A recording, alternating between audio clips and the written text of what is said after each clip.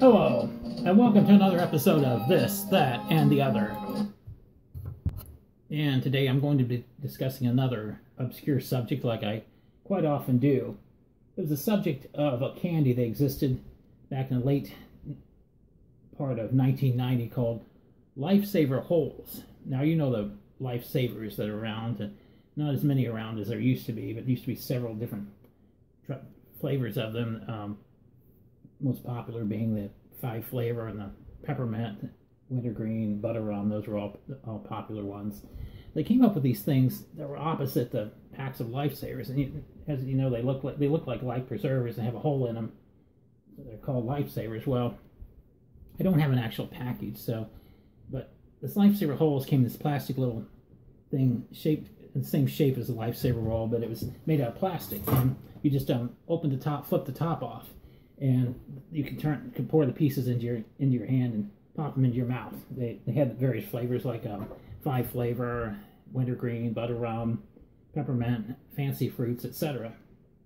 Well, there was a recall on them, and I thought that they were recalled because people were choking on them. Well, I did a little bit of research, and I found that people were actually chewing off the um, cap that you pull pull to open them.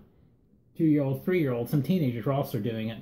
There were no no inj- no serious injuries or anything as a result, but they were taken off the market. And they, they, there was talk about reintroducing them and changing the packaging, which would have cost millions of dollars to do. So I don't believe they ever they were ever brought back. I I, I could be wrong on on that, but they were popular in the last um, last part of, of 1990. I do rem- I do remember them. I don't, I don't remember if I ever bought some or not. I don't remember ever tasting them, but you don't see lifesavers as much anymore. They really cut down on the flavors, and I don't like what they did five flavor. They took out the lemon and lime, and I don't like the replacement flavors. And and so I, I don't I don't buy lifesavers anymore. I did hear that you can get the the original five flavor selection in Canada.